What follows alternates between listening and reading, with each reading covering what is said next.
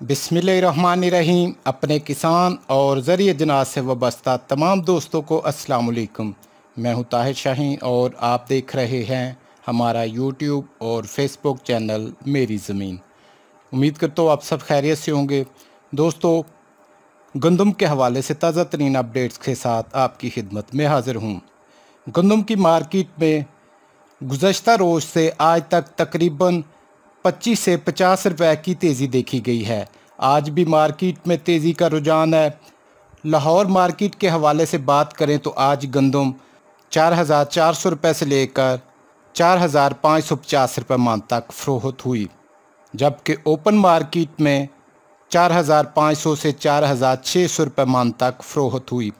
Lahore market के हवाले से आपको गंदम की ताज़ा तरीन अपडेट दे रहे हैं। आज लाहौर मार्केट में गंदम चार हज़ार चार सौ रुपये से लेकर चार हज़ार पाँच सौ पचास रुपये मान तक फ़रोहत हुई, जबकि ओपन मार्केट में गंदम चार हज़ार छः सौ रुपये मान तक फ़रोहत हुई।